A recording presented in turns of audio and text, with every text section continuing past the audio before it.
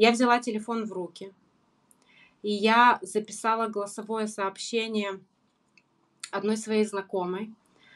А, оно до сих пор есть у меня в телефоне.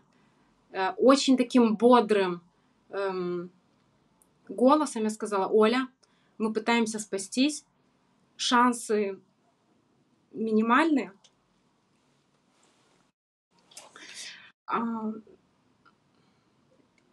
Если не получится, пожалуйста, собери денег для моего санду. Потому что у него, кроме меня, никого нет.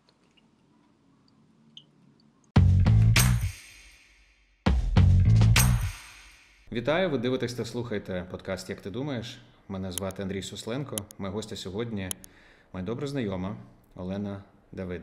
Олена, привіт. Привіт, привіт, Андрій. Я щасливий тебе бачити.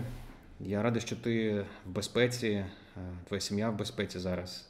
Адже ти пережила неймовірну історію, про яку, напевно, в тому числі я хочу поговорити історію, як можна е, вижити, потім ожити і повертатися до життя. Тебе я знаю як е, офігенну людину, блискучого спеціаліста з емоційного інтелекту, блискучого тренера. Ем, ти менеджер партнера Чендесь Україна, я маю про це сказати. Ми з тобою працювали, я був твоїм, твоїм клієнтом і задоволений якістю роботи разом з тобою. Відповідно, маю можливість, е, знаєш, як ем, знати тебе трошки краще. І на базі цього буду сьогодні досить прямо розпитувати про твій військовий досвід. Перше питання: де ти зараз? Давай начнем с того, что я хочу извиниться за то, что я э, не буду отвечать тебе на украинском э, языке. Э, дело в том, что ты, наверное, знаешь, чтобы наши зрители тоже понимали, я и сама из Молдовы. Э, вот, хотя последние 8 лет я проживаю в, в Украине, в городе Киеве. Э, очень усердно, особенно сейчас, учу украинский, но еще, э, так скажем, не готова на нем спокойно беседовать, поэтому а, прошу прощения за то, что буду отвечать тебе на российской мове. Э, сейчас я нахожусь в Лондоне. Да, нахожусь в Лондоне вместе со своей семьей, со своими детьми. Жила ты до цього у Киеве? Да, э, в 2014 году я переехала со своими детьми в, в, в Украину. Вначале в Одессе мы жили два года, потом, а, потом в Киеве. Раньше я работала в международной компании, и в 2014 году э, они меня попросили переехать, то есть локализировали меня в Украину. И вот с тех пор, собственно, мы проживаем в, в Украине. Причем мы переехали в 2014 году тоже не в самое лучшее время. Да, я с двумя э, маленькими детками. Я помню, что все вокруг э, крутили у виска, куда ты едешь, там война. Но, э, наверное, вот э, я всегда задаю себе вопрос, почему я, будучи э, молдаванкой, всю свою жизнь проживя практически ну, большую часть в Кишиневе, в Молдове, э, так для меня вот больно сейчас, да, вот все, что там происходит, и так сильно я хочу вернуться именно в Киев. Я когда переезжала в, в Украину в 2014 году, как раз пережила там не очень хороший развод, и для меня Украина стала как э, э, вот глоток свежего воздуха, знаешь, вот такая вот свобода, э, прекрасные люди, прекрасные места, и сто процентов Киев — это мое э, место силы, однозначно. Поэтому все мои мысли, мои и моих детей в Києві там. Mm, я зрозумів тебе. Я зрозумів тебе. А як ти зустріла війну? На, на що схоже був ранок 24 лютого? 24 февраля мы, как и, наверное, большинство украинских семей, были дома. Я готовилась к конференции. В 10 утра я должна была выступать на на, на конференции, фэшн-конференции перед э, дизайнерами э, Украины. И я так очень усердно готовилась. Э, э, и хотя, естественно, в воздухе э, еще, наверное, числа с 16 да, что-то там назревало, э, я вот тот человек, который от себя максимально это все отгонял. Да, максимально я не хотела в это верить до последнего. И я в 10 утра собиралась э, со сцены вещать на тему эмоционального интеллекта и мышления роста. Вот.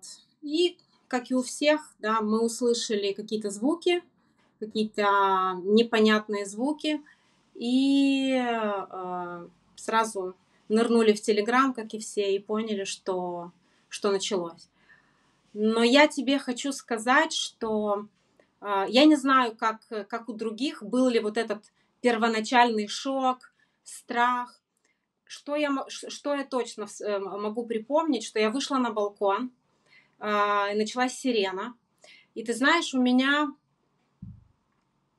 вот такое какое-то дурацкое, конечно, я сейчас понимаю, чувство романтизма, что наконец-то вот оно случилось, потому что, помнишь, последние две недели то будет, то не будет, то нападает. То. И я вот думала, ну вот оно случилось, вот они все подписали смертные приговоры этим, сейчас все от них отвернутся, сейчас люди, все, вся Россия выйдет э, э, на улицу, и, и все, и этот режим, это все закончится. И вот если честно, я до 12 дня, когда мы там дальше расскажу, попали в, в Гастомель, я вот жила этим чувством, что ну вот слава богу, оно началось, вот оно сейчас, а это означает жирная точка всему. А звідки вот, виникає в тебе тоді, звідки виникало таке очікування, що е, з Росії буде саме так?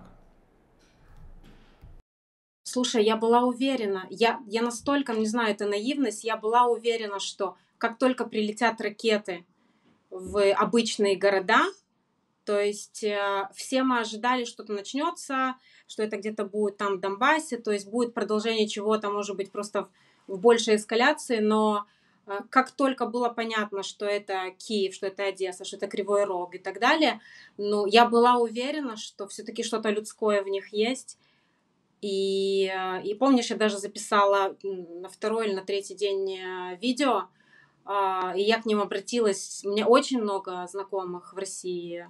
А, и я обратилась с надеждой, что они все-таки выйдут. Но они не вышли. Ти знаєш, мені дзвонив мій знайомий з Новосибірську, який зараз в Гонконзі живе. В 24 лютого казав, що там у нас вийшли. Наші вийшли в Новосибірське. І тоді, здається, було так декілька днів, якісь ем, спроби, як... але далі, звичайно, все затихло. Я просто намагаюся поміркувати разом з тобою, е, чи можна було реально очікувати, що росіяни встануть. Це таке питання риторичне, напевно. Я далі Знаешь, буду рухатися я... про твій досвід. Да. А, скажи так. Да, я, я, я думала, что а, тогда даже обращалась к ним и говорила, что это идеальный момент, потому что вся, весь, их фо, весь их фокус сейчас находится на территории Украины с точки зрения военных, с точки зрения там, ну, всех вот этих потенциальных да, э, дядечек с, там, с дубинками, с автоматами. И это был идеальный, мне кажется, момент собраться и выйти. Вот, но этого не случилось. Да. Um, я бачив твоє відео на перший чи на другий день, де ти їхала за кермом, здається, і навколо відбувалася стрілянина вибухи, і я просто не знаю, як ти це пережила. Ти з дитиною. Розкажи про цей угу. момент. Чому ви їхали? Да, і значит, ви їхали? Заради чого?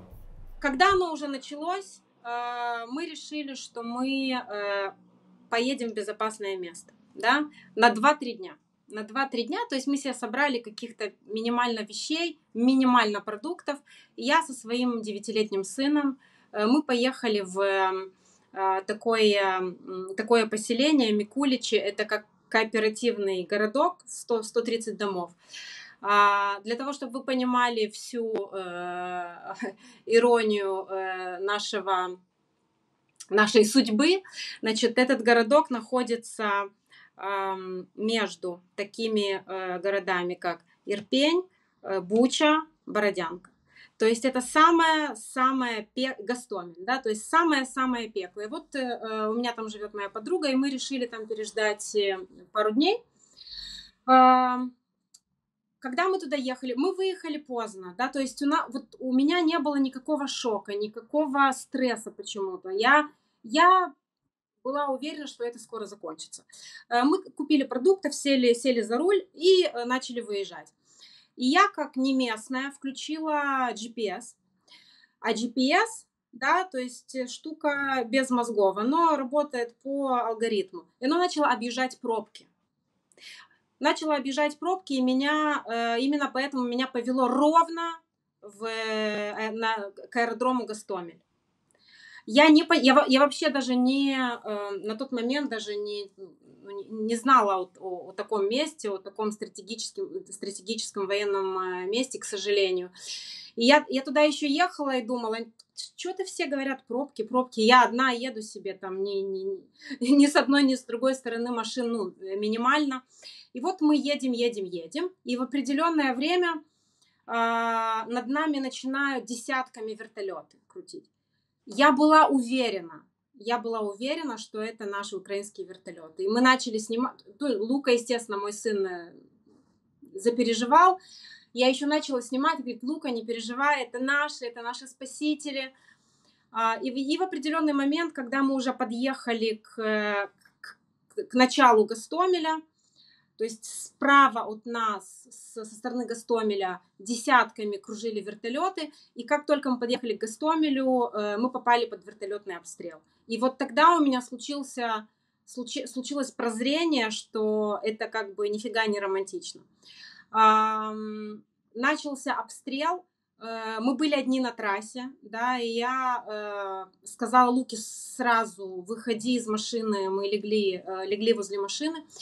И в этот момент я не понимаю, откуда и как, я так подозреваю, что на обочине была полицейская машина, к нам подбежал полицейский, молодой парень, наверное, ну, 20-21 год, вот совсем стажер. Он к нам подбежал, Э, приказал сесть в машину, прыгнул прямо на луку, вот на переднее сиденье, и говорит, сейчас, мы, сейчас я вас отсюда вывезу. А, и он нас вывез э, в сторону Ирпеня. Я очень часто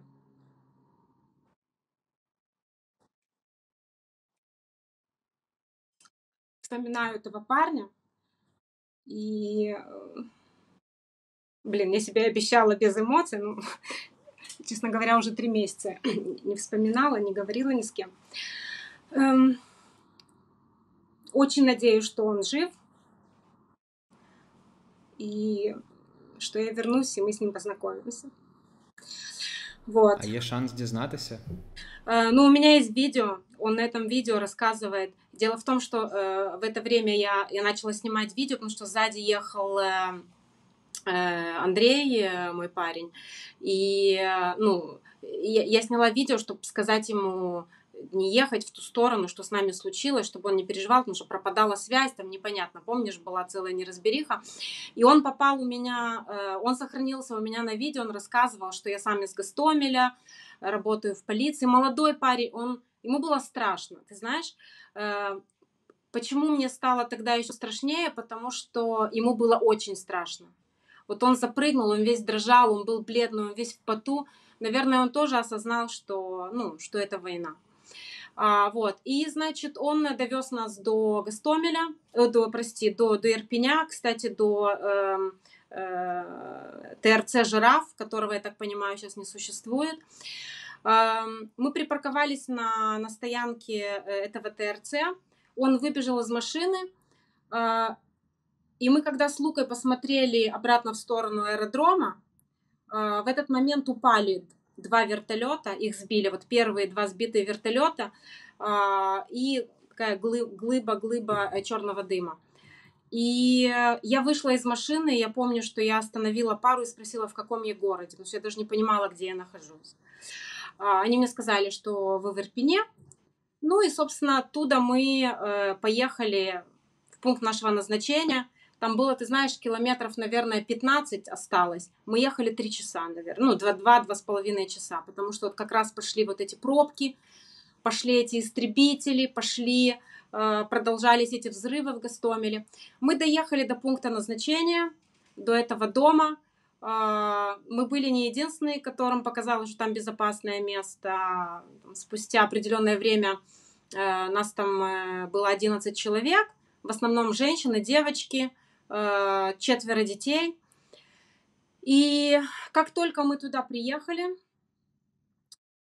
а, для того, чтобы э, проехать э, на территорию этого поселка, э, есть три моста, да, и вот буквально через три часа, наверное, под вечер уже, 24 февраля, два моста были взорваны, и один мост был оккупирован русскими.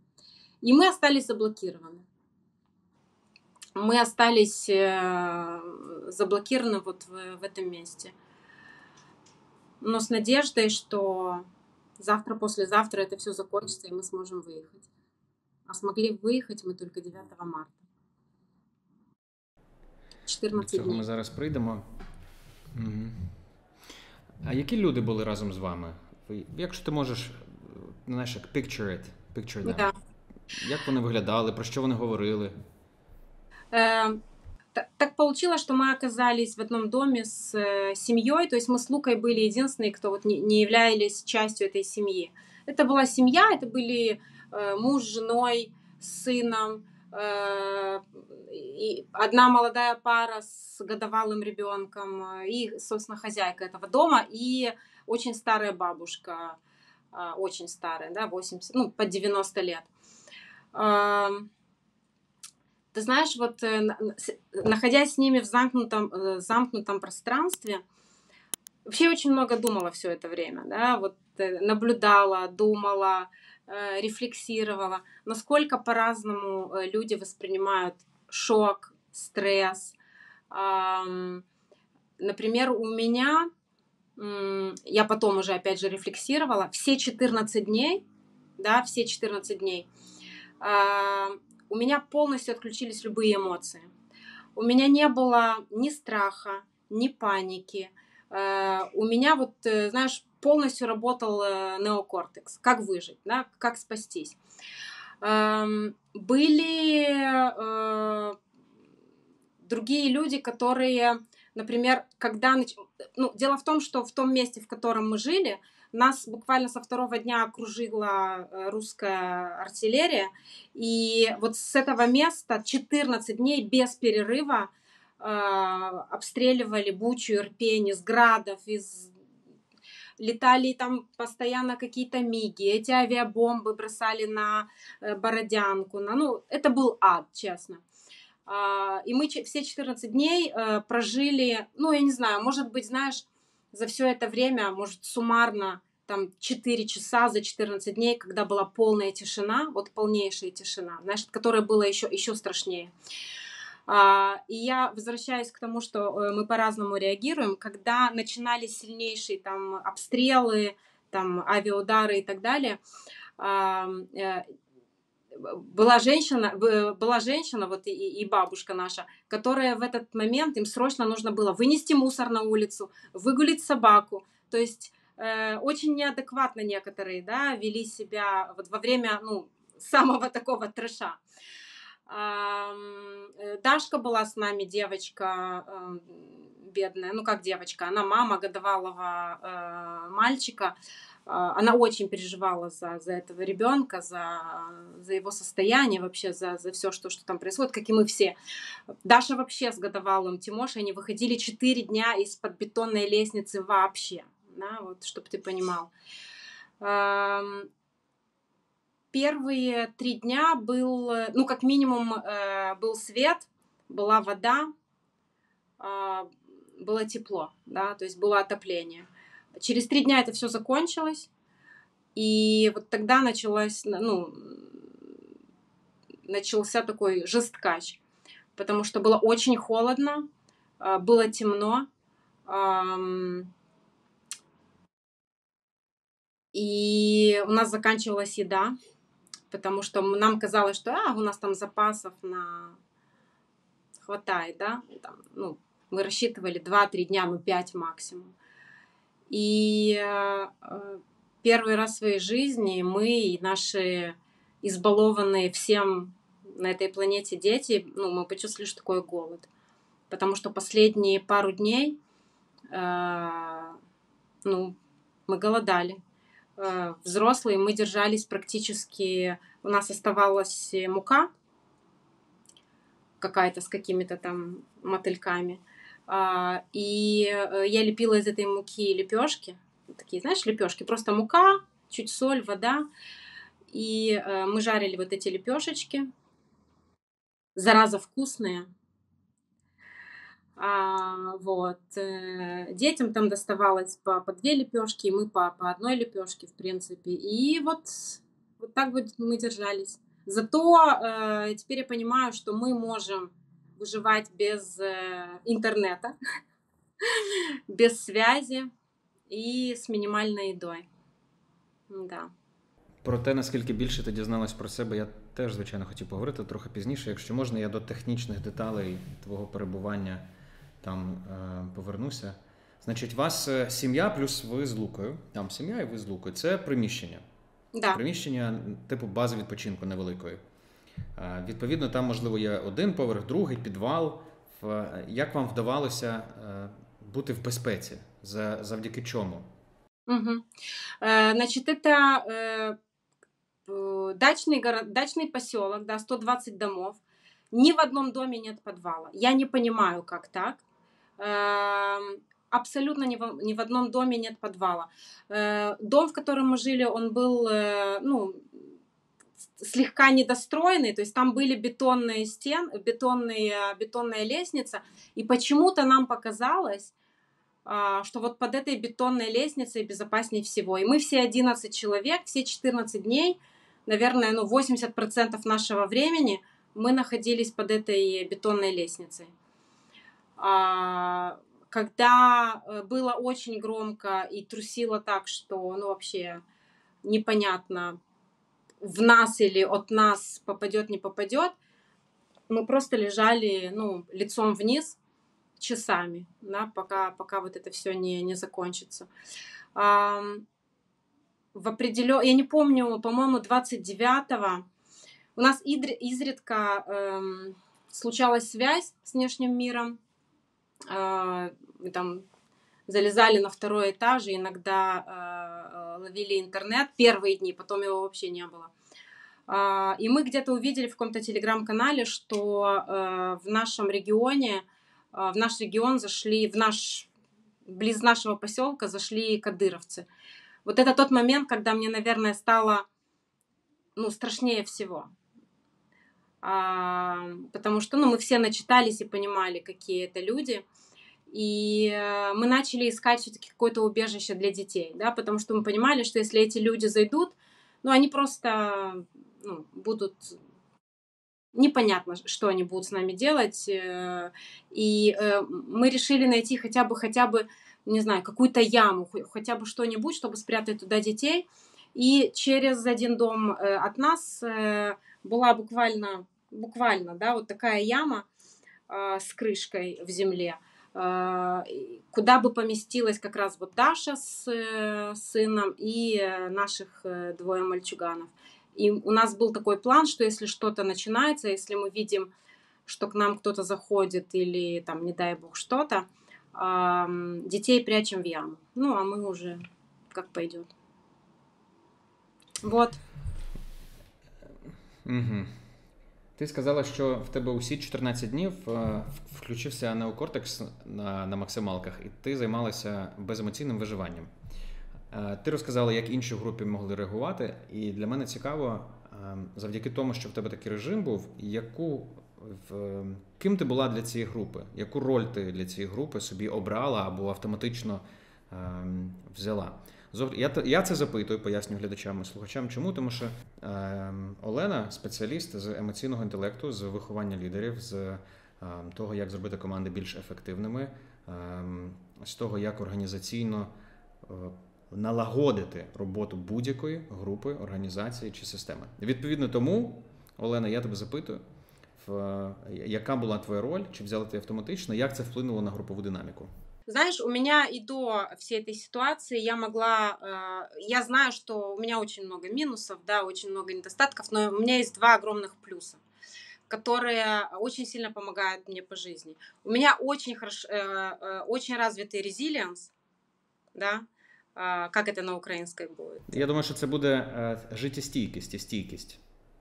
Да, резилиенс, и у меня однозначно Э, growth mindset, мышление роста, потому что э, я всегда найду э, выход из любой ситуации. Я такая мега-оптимистка по жизни.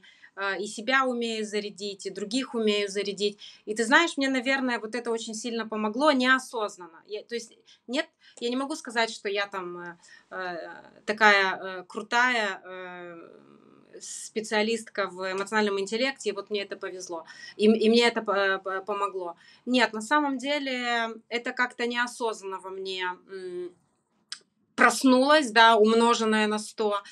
Эм, несмотря на то, что э, у нас, э, ну, среди нас было двое, двое мужчин, все решения э, принимали э, мы, женщины, да, то есть я и была вот, вот эта девочка Даша и Ира, собственно, хозяйка дома. Я не знаю, почему так получилось. Хотя, нет, наверное, я тоже могу найти этому объяснение. А, там любое решение, любой шаг не то, что был 50 на 50, а был 10 на 90 с точки зрения там 10 выжить, да. И никто не хотел брать на себя ответственность. Я говорю сейчас и про э, близких нам людей, которые находились за пределами, да, и скорее всего, и э, наши ну, мальчики, мужчины, которые были с нами, потому что, ну, это четверо детей, да, это целая, целая семья.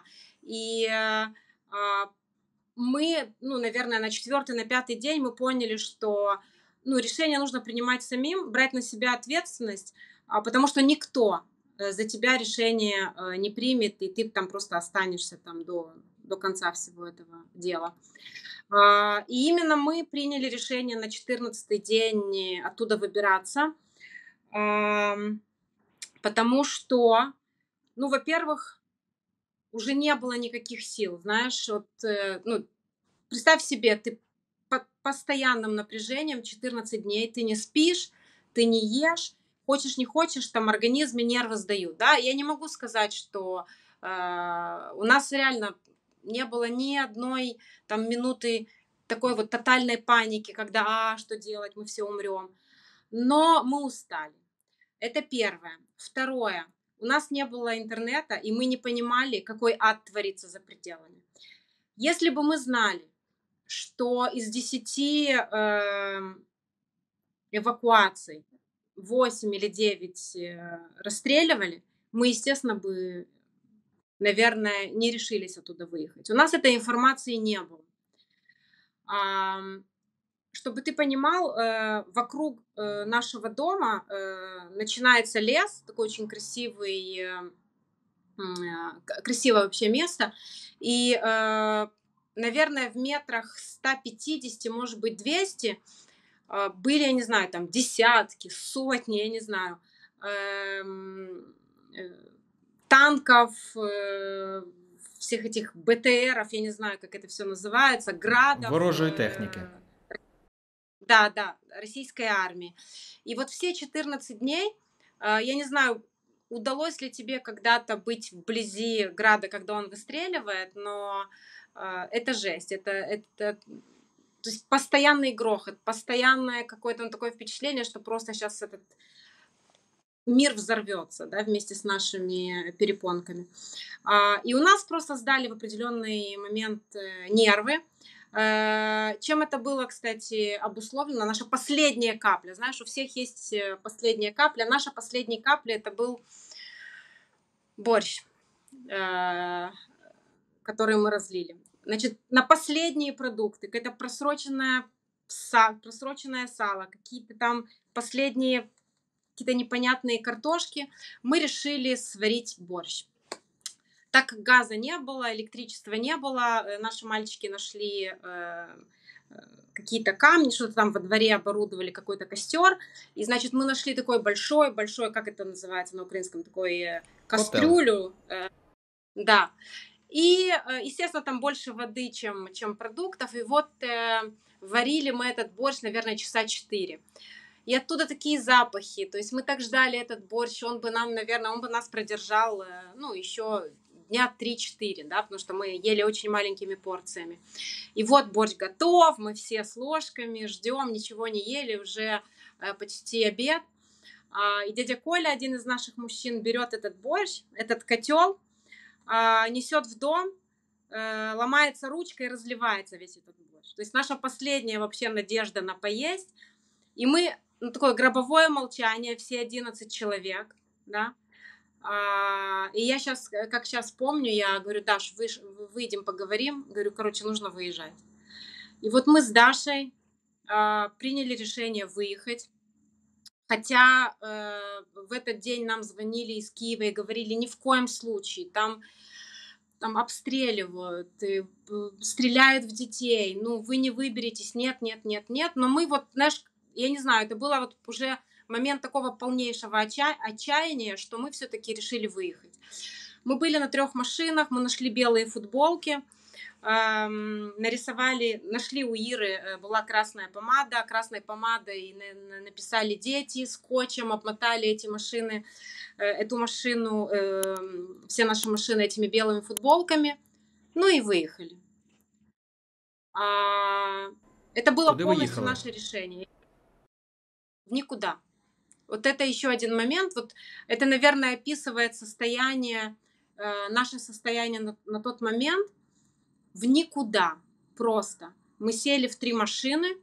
Как только люди из поселка увидели, что мы... А мы были первыми, которые вообще решили куда-то выехать. А, к нам сразу подбежали люди и просили, «А, возьмите там мою дочь, возьмите моего сына. И ты знаешь, а, я когда написала вообще пост про этот наш побег, там был момент, когда к нашей колонии присоединилась какая-то старая Волга с двумя мужчинами. И э, когда мы доехали до, до, леса, и нам сказали, что там, возможно, могут быть мины, да, мы им об этом не сказали, э, и они поехали первыми, а мы за ними. Э, и у меня начались комментарии, что да ты эгоистка, да как ты могла, вдруг бы они взорвались. Боже, я, наверное, могла, ну я не знаю, на что я была способна для того, чтобы сохранить жизнь своему ребенку. Я не знаю, как это объяснить. Может быть, будучи я на диване, э, я бы тоже так подумала и отреагировала. Но у тебя тогда вот врубается какой-то такой, знаешь, рубильник, ну, я не знаю, спаси своего ребенка, что тебе абсолютно не то чтобы все равно, но, но вот, знаешь, как вижу цель, не вижу препятствия. И э, когда вот эти люди в поселке просили нас взять их с собой, я честно скажу, я даже обрадовалась, потому что э, я думала так, один сядет справа Луки, второй слева Луки, Лука будет посередине, если начнут стрелять, как минимум там, ну, хотя бы какая-то, я не знаю, там, какая-то перегородка. Чтобы ты понимал, вот какие неправильные, наверное, мысли – были тогда в голове, но ну, как бы есть, ну, было как было.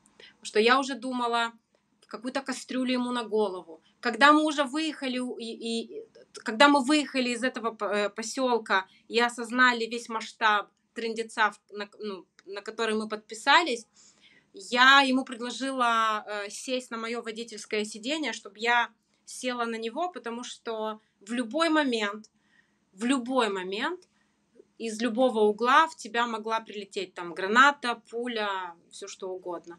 И я, вот у меня была задача единственная на этот весь маршрут — сохранить жизнь своему ребенку. Больше меня ничего не интересовало вообще. А, вот. И мы выехали. Выехали, нас было э, машин из нашего поселка, три наши, к нам еще две машины присоединились. Ехали в никуда. Ехали, ехали, ехали. Заехали в лес. И э, посреди э, дороги, то есть посреди дороги лежали сосны, знаешь, обрубленные сосны. Ну и мы, естественно, сразу выбежали из машины, начали там, пытались их поднять. И в этот момент дозвонился э, до нас э, Андрей, и говорит, ни в коем случае не трогайте эти сосны, потому что они их минируют. Ну, минируют, минируют, э, сосны не, трога, не, не тронули. И а, была вот такая какая-то дорожка через лес, и мы поехали по этой дорожке. Вот как раз в тот момент, когда тоже, возможно, эта дорога была заминирована. Да, мы заехали в этот лес, и такой дремучий лес, то есть было темно вокруг, сосны, как сейчас помню. И нас там встретили э, 7 или 8, 7 бурятов с автоматами, с калашниками. Приехали, называется. Ну и в тот момент, э, то есть представь себе, э, in the middle of nowhere, э, семь неадекватных, абсолютно неадекватнейших. Я до сих пор э, помню взгляд некоторых вот этих солдатов. То ли они были на каких-то наркотиках, то ли они были пьяные. Знаешь, к тебе плетется человек с направленным на тебя автоматом в абсолютно невменяемом состоянии. Там э, один из них только был славянской внешности. Кстати, самый неадекватный. Вот, знаешь, помнишь, в нашем Советском Союзе были э, э, очки вот с такими линзами? Знаешь, у нас, у нас в, в наших странах их уже давно нет. Знаешь, вот такие линзы. А, вот он был вот с, с такими линзами, и вот он шел к нам, и ты, mm-hmm. я помню, я на него смотрела и думала, блин, да ему как бы убить меня и моего ребенка вот просто, просто нефиг сделать. Потому что, ну, это лес, никто не видит, э, плевать он хотел там на нашей жизни. И вот тогда было тоже, честно говоря, страшновато. А, они э, начали обсматривать э, машины, начиная вот с задней. Я была где-то третья, четвертая, смотрела в зеркало заднего вида и видела, что они эм, у мужчин отбирали смартфоны и э, разбивали их о, о, о дорогу, да. А, и у всех проверяли э, телефоны, смартфон. А у меня в том смартфоне вообще красота. Все видосики, все мои вот эти возмущения в Фейсбуке, в переписка в Телеграме, я очень судорожно помню, начала это все удалять.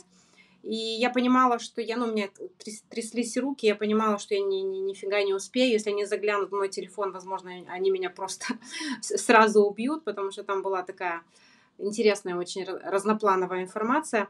А, и я в определенный момент просто выключила и протолкнула телефон э, под сиденье, а, и они его не нашли.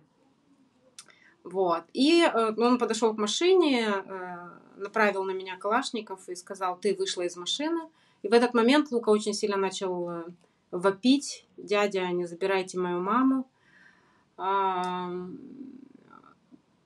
И тоже было страшно, опять же, знаешь, э, кстати, тоже хорошая, хорошая такая мысль, о которой очень часто думаю. А, мне почему-то ни разу не было страшно вот за, за то, что меня там, меня убьют. А, а я очень боялась смерти до войны. Вот у меня был страх смерти. А, ну, у многих, да, есть вот, блин, что же будет вот в тот момент, когда вот это наступит. Мне ни разу не было страшно именно вот за то, что я умру, что меня убьют. Мне очень страшно было за то, что это увидит мой ребенок, или за то, что, ну, короче, вот как-то так. И э, даже в тот момент, да, вот по поводу того, как работает мозг, казалось бы, да, когда мы смотрим вот эти фильмы разные о войне, и ты смотришь, что эти люди еще как-то там отвечают на вопросы, реагируют, очень четко работал мозг. Спрашивает, отвечай. Э, говорит, там, приказывает, делай. И, э, и все. Как бы вот просто 10 минут ада, выполняешь все приказы, показываешь там все, что есть, делаешь все, что просят. Ну и они нас отпустили. Почему они нас отпустили?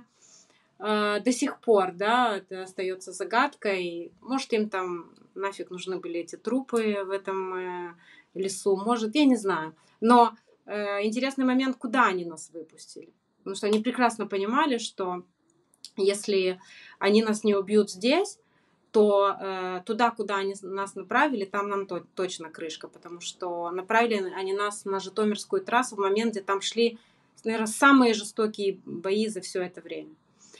А, ну и они э, так улыбнулись, сказали, приятной дороги, вот вам туда, спасайтесь.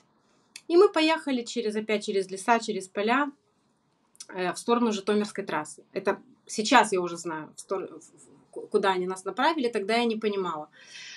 Я не помню ни одного населенного пункта. А, то есть как мы ехали, я не понимаю, не помню. Э, помню только один населенный пункт, это э, Старониколаевка, если я не ошибаюсь. Вот там мы остановились, потому что мы просто не понимали, э, что дальше, куда и как. И как только мы остановились в, в этой Старониколаевке, а, пришли какие-то люди и сказали, вам вон туда.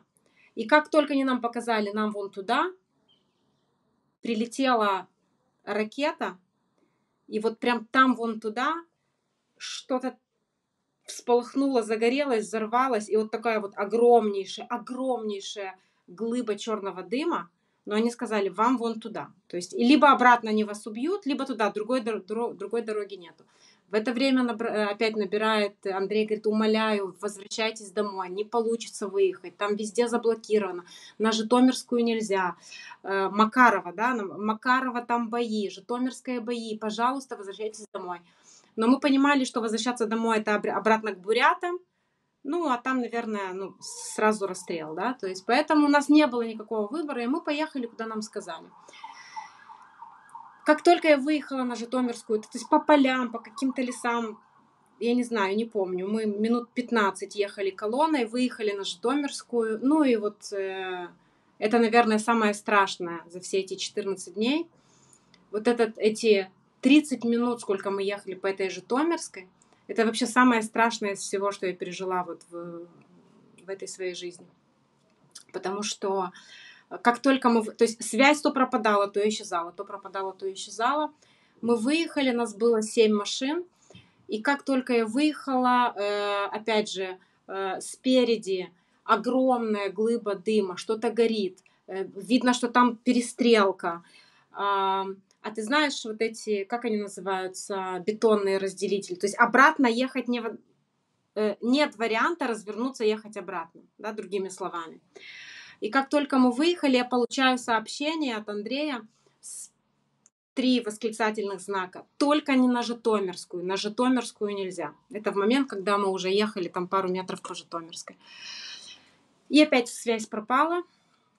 Вот, и э, мы выехали на Житомирскую, и буквально там первые пару минут э, э, очень много обстрелянных машин э, с людьми, с детьми. Э,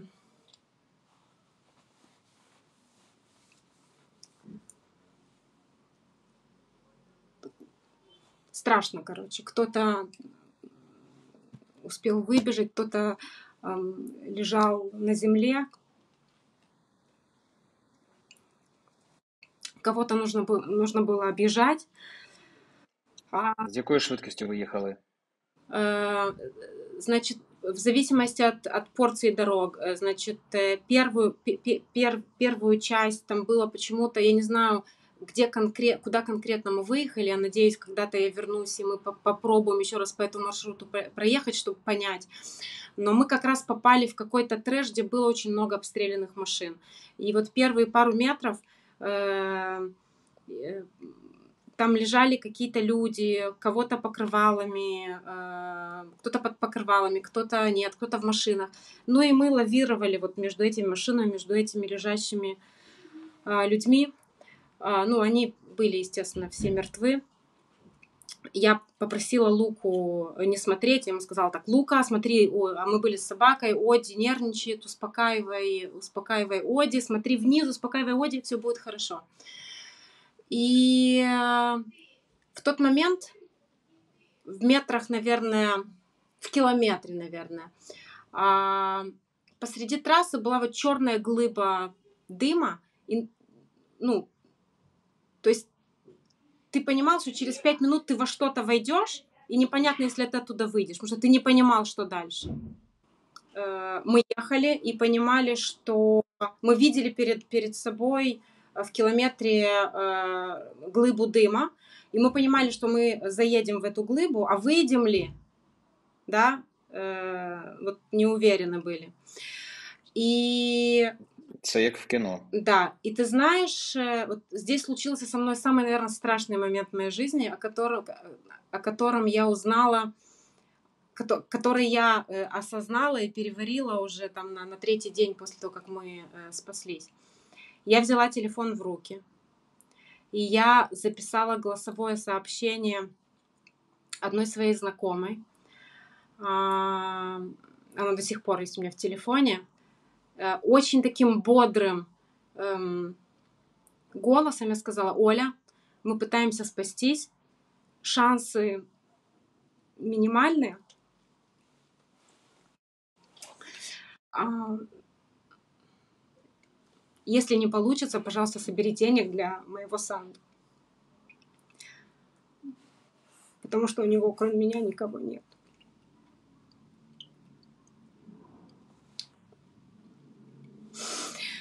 Вот. И я отправила и забыла. Естественно, связи не было, это сообщение не ушло. Но, что интересно, я потом, когда э, э думала об этом всем, э, я не выбрала, то есть Оля, эта девочка, которой, которой я отправила это сообщение, это не моя самая близкая подруга.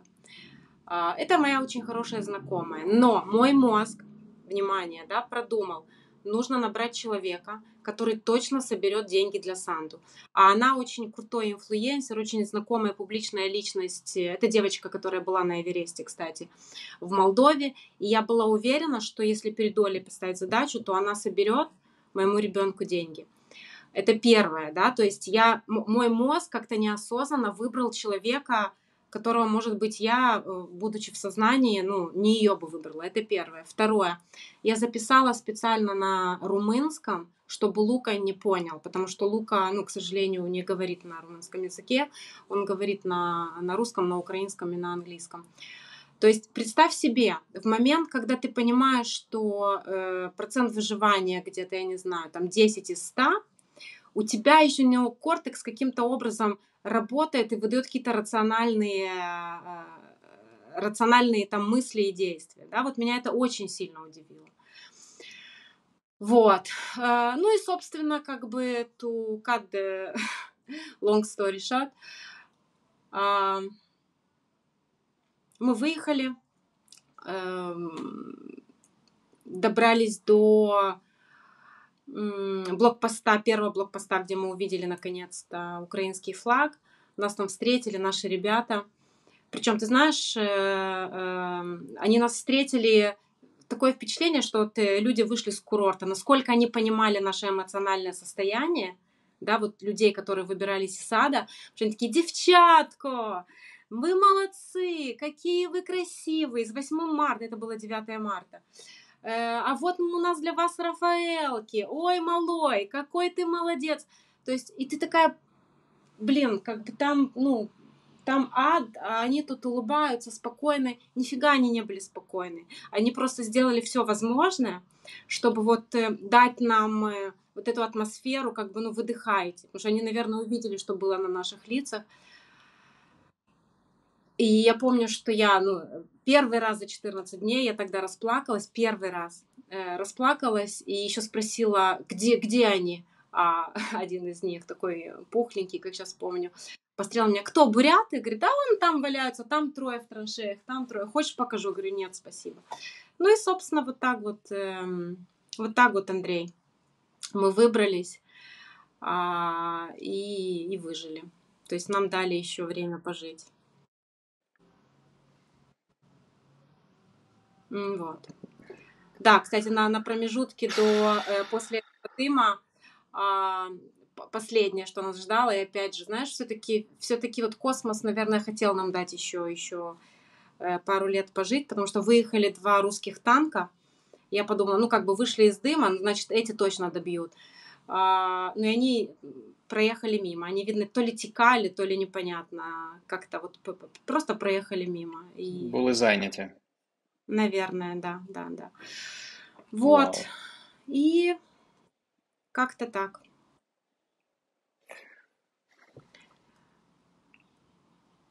Як ти спала в першу ніч? Ты а, в первую ночь мы, да, тоже интересно, вот э, было время по порефлексировать над тем, э, как вообще организм и мозг воспринял вот этот э, огромнейший стресс и вообще, что, каково оно сейчас. А, мы переспали там ночь в, в Виннице, где-то в даже не помню, кто нас приютил, нас куда-то направили. Ну и потом я уехала в Молдову. А, из Молдовы уже собиралась каким-то образом доехать до своей семьи. Вся моя семья была в Лондоне. Кстати, то, что они пережили все это время, это, я не знаю, наверное, мой старший сын, он э, повзрослел, знаешь, э, за это все время, как, как, как за 10 лет. А, очень переживала за него, конечно. И э, я помню свое состояние, то есть мы заехали в Кишинев, это на второй день после 10, 10 марта мы заехали в Кишинев, я с Лукой. Грязные, худые, голодные, реально грязные, знаешь, вот, вот знаешь, как смотришь на человека, вот мы были чумазые. Э, я как дура запаковала себе на 2-3 дня в безопасное место э, белый спортивный костюм, белые уги, шорты для бега и все такое. Вот этот белый костюм, он был черный, лука весь был поцарапан, ну, короче. Э, машина со всеми колес, спущенными колесами. Это тряпка, дети, полыхает там где-то в, э, на ветру. И вот мы заезжаем в Кишинев, и я вижу в Кишиневе жизнь. То есть люди в ресторанах смеются, э, дети там гуляют все, там целуются. Блин. Я, у меня был такой пик злости, э, абсолютно неконструктивный. Неконструктивный, да. Я эм, Мне, мне хотелось остановить машину и сказать, вы что, офигели? Вы что вообще живете? Вы чего радуетесь? Там в 150 километрах от вас дети мертвые лежат на улицах. А, и у меня была сильнейшая агрессия пару дней. Я взрывал, я я помню, что я высказала вообще всем своим там подругам, друзьям, знакомых, которые э, позволяли себе выкладывать в, Инстаграме свою нормальную жизнь. Э, я понимаю, что это была огромнейшей ошибкой, потому что люди, которых это не коснулось, люди из другой страны, ну, э, имели право, имеют право, наверное, продолжать жить, и я очень, и это, наверное, правильно, да, что их это не коснулось, и они живут дальше своей жизнью. Но я помню вот этот пик злости, а, после чего у меня два или три дня был полный нокдаун. То есть я, наверное, 70 часов я поехала к своей подруге, наверное, она думала, что мы сейчас ей там буду рассказывать, мы там будет меня там успокаивать, я не знаю, какие у нее были ожидания. Ленчик, прости, я э, трое суток просто вот так вот э, пластом пролежала э, у нее в спальне. У меня не было никаких сил даже подняться, там, поесть, э, поздороваться, поговорить. Не отвечала ни на какие звонки, не могла вообще, знаешь, вот такой вот просто вакуум, какой-то вот овощ. Потому что в этот момент пришло, наверное, осознание, и вот весь этот ресурс, который я использовала на протяжении этих 14, 14 дней – наверное, просто, я не знаю, мое тело там, встало на зарядку, что ли, а, и сказала Лена, как бы, отбой. А, и я просто пролежала как, как, как овощ. А, и э, с одной стороны, то есть пока я была в сознании, постоянные какие-то мысли, какие-то там флешбеки, а, какой-то кошмар, который я начинала, начинала осознавать, плакать не могла, но как только я засыпала, это были ужасы, кошмары. И у меня, и у Луки первые пару дней это вообще просто, просто был ад. То есть вот такое состояние. А что снилось? А... Слушай, снилось в основном то, что мы видели на Житомирской. Знаешь, э, кстати, кстати из интересного, а, я когда рассказывала об этом, если, то есть мы выехали 9 марта, да, когда раскрылась Буча, Ирпень? Начало апреля, если я не ошибаюсь, да? Или конец марта? Так Конец вот, марта. Травня, березня, так. Так вот, когда я рассказывала то, что мы, то, что мы видели, и то, через что мы прошли, я уверена, да, это было видно там в глазах э, моих знакомых и друзей, что они думали, что у меня кукуха поехала. Ну какие люди там, э, ну какие трупы на дороге, ну какие там убитые дети в машинах. Ну потому что нормальный человек такую информацию ну, не воспринимает, да, этот момент отторжения, такого не может быть. И мне очень многие не верили, я точно знаю. А, я согласилась на интервью у, а, на одном молдавском канале я рассказала всю эту историю, и на второй день я зашла случайно прочитать комментарии, 80% комментариев было, что за, что, что за бред, что за вранье, фейки и так далее. И я поняла, что люди реально не осознают и не понимают. И только спустя три месяца, и мне было так, ну, больно и обидно, потому что э, я понимаю, почему люди продолжают жить своей жизнью, потому что они не верили и не понимали, что там происходит. И когда через три недели на всех телеканалах в, в один день начали визуализировать то, что я рассказывала, у меня было очень много звонков э, от людей, которые говорили, Лена, мы теперь понимаем, ш, ш, ну, как бы, через что вы прошли, что вы это, и, и что все это правда. Вот. А потом была яма, Андрей такое, такая вот э, настоящая... Знаешь, я э, в том числе преподаю такую интересную тему, как управление изменениями. И если ты знаешь вот кривую изменений, да, как, как люди проходят, э, то есть какие состояния бывают у людей, э, когда э, с ними случается что-то извне, да, то, то, чего они не ждали, к чему они э, не были готовы, вот что-то извне заходит в твою жизнь, ломает все твои планы, всю твою жизнь. Это может быть какой-то там, э, какая-то трансформация на работе, это может быть что-то в твоей личной жизни, whatever. А, первое – это шок, да, то, что многие, наверное, испытали 24-го. Потом отторжение, да нет, этого не может быть, как бы мне это все снится, это все скоро закончится. Потом это все уходит в э, депрессию, да, вот люди падают в яму, После этой ямы э, люди начинают пытаться договариваться э, сами с собой и переходят в стадию принятия, да, новой реальности, что как бы, ну, ты можешь новую реальность или принять, или застрять в этой яме полностью. Так вот, э, ну, хочу всем сказать, что я знаю, что многие сейчас, да все, э, очень часто э, запрыгивают в эту яму эмоциональную. Э, это нормально. Эм, это, в принципе, нормально. Главное не засиживаться там. Потому что это ну, деструктивное э, состояние, которое не поможет э, ни вам, ни, ни вашему окружению. Ни, ну. И э, я помню, что я оказалась в этой яме, в которой вообще ну, мне ничего не хотелось, никого не хотелось видеть, ничего не хотелось делать. А, и меня из этой ямы вытащила какая-то незнакомая девочка, которая написала мне в Инстаграме, вот, э, хочу выехать из э, Запорожья, по-моему, кто-то порекомендовал тебя, что ты в Молдове, можешь ли ты мне что-то найти? И знаешь, у меня такое сразу вставать. И я помню, что я пошла в душ, я помылась, я оделась, я устроила эту девочку и сразу за, за, написала пост, готова помогать, потому что э, вот это ощущение, что ты можешь быть полезным, оно э, тебя вытягивает из этой, ну, как минимум меня это так работает, я знаю, многих такое работает, учитывая количество волонтеров. Вот.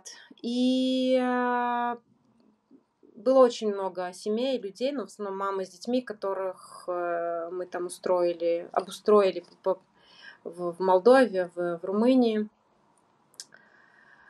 Ну и как-то так, но вот эта кривая изменений, она работает эм, чуть-чуть по-другому, когда у тебя происходит одно событие, да, которого ты не ожидаешь. Ты там прошел э, шок, э, отторжение, депрессию, там, принятие и пошел дальше. А тут каждый день ты открываешь Телеграм, и э, вот эта кривая у тебя повторяется, да, то есть почему сейчас люди не могут из этой ямы выйти, потому что каждый день какая-то новая, какой-то новый, новый ад, и ты только выбираешься, ты только договариваешься с собой, что так, все, хватит, взяла, взяла себя в руки, нужно жить там ради, ради себя, ради детей, ради, я не знаю, ради всего на свете. И ты открываешь утром Телеграм, и ты э, закатываешься обратно в, в эту яму. Поэтому э, очень просто на словах и в теории, очень сложно в жизни попытаться с собой договориться и ну как-то постараться жить дальше. И знаешь еще э, интересная мысль, если, э, если у нас еще есть время? Трошки ще так. Да. А, тоже думала и ну, читала, в принципе, о том, как работает наш мозг, вообще про психологию человека, что с нами происходит, вот, а, когда мы пребываем в шоке, в стрессе. А, и почему нам сейчас так сложно выйти из вот этого состояния, в котором мы находимся. Какие самые две сильные эмоции у людей, знаешь? Напевно, це страх одна з одна з них, і ще, можливо, жах або щось пов'язане зі злостю і агресією. Угу, абсолютно верно. Два сильнейшие, две сильнейшие эмоции э, у человека – это э, гнев и страх. И представь себе, э, каждый украинец, вот уже сколько, три месяца, каждый день пребывает вот на пике этих двух деструктивных, сильнейших эмоций каждый божий день. И э, до войны мы всегда э, делились такой очень крутой техникой, которая мне помогала до войны, честно говоря. Как же выйти из этого состояния, да, когда э, тебе страшно или когда э, ты там на, на пике злости? Просто задавай себе вопрос каждый раз, э, к какому времени относится, например, э, гнев к какому времени относится, да, если брать вот прошлое, настоящее, будущее? Гнев. Це хороше запитання. В системному коучингу він такий тип запитань дуже допомагає реально визначити природу відчуття або переживання. Угу.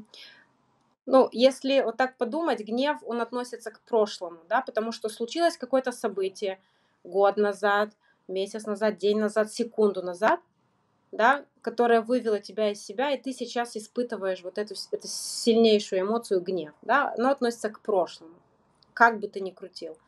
Хотя испытываешь ты это сейчас. И просто задавай себе вопрос каждый раз, можешь ли, можем ли мы изменить каким-то образом прошлое?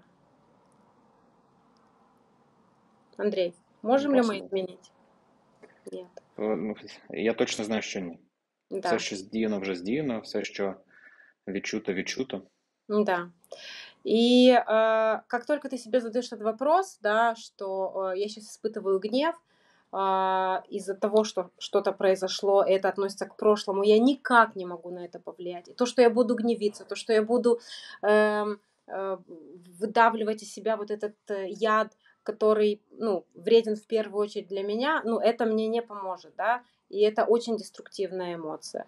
И просто нужно взять себя в руки и думать, как а, жить вот в этой новой реальности, вот ну, с тем, что случилось, да, вот просто как, как жить дальше. И то же самое со страхом. Страх, вот если подумать, к какому времени относится? Ну, Це те, що я вже пережив або можу переживати прямо зараз. Ну, це завжди все це що ну, я переживаю прямо зараз, тому що я через щось проходжу, бо щось вже пройшов. Або можу, до речі, хвилюватися про те, що буде в майбутньому. Тобто О. до всіх часів відноситься.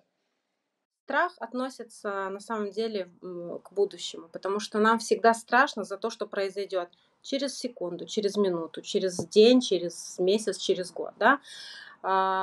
И э, э, это, это эмоция, которая относится к будущему. И опять же, а, мы очень э, дерзко иногда позволяем себе думать, что мы можем повлиять на будущее. Да? У нас там риск-менеджмент, это и на уровне бизнеса, и на уровне там, личной жизни – все под контролем, я готов, у меня там есть страховки, если что, поеду в безопасное место, э, ну, там, чекапы, если это касается здоровья, вот нифига, понимаешь? Мы не можем влиять на будущее на 100%. И вот это стра- чувство страха, которое тоже очень много ресурсов из нас э, высасывает, потому что а, ты же знаешь, да, наверняка, что наши э, мысли, большая часть наших мыслей это о прошлом и о будущем, да, сколько там, в пределах там 10, по-моему, процентов, это вот мы живем настоящим. И вот как, э, если задуматься, что мы не можем повлиять никак на прошлое, и мы не можем повлиять на, никак на будущее, можно постараться м, снизить э, вот, масштаб этих двух деконструктивных эмоций. И это работало до войны, однозначно. Я очень э, часто пользовалась этой техникой. Ти знаєш, це розмова, в якій я найменше запитань поставив за всю свою кар'єру. Е, тому що це фактично сповідь твоя і ваша, ем, і вона надзвичайної сили, мені здається. Так, я дякую тобі, що ти е, довірилася мені і нашим слухачам в цьому. І взагалі ти так відкрилася щиро в цьому. Я не знаю, що ти відчуваєш, як ти це проходиш. Я просто вірю, що е, ось ця любов, яку ти помітила і знайшла. Так, ненависть з однієї сторони, але любов, велику любов, яку ти відчула і побачила що вона буде зцілювати, вона буде тебе зцілювати. Ти взагалі промінчик для мене завжди був енергії, була енергія сонця. Е, і дуже хочеться, щоб ця сила тебе відновлювала. Я тобі дуже дякую. Я дуже радий, що ти жива, що ви живі. Ем, і ми поговоримо пізніше про те, як переорганізовувати життя після цього. Дякую тобі, Олена.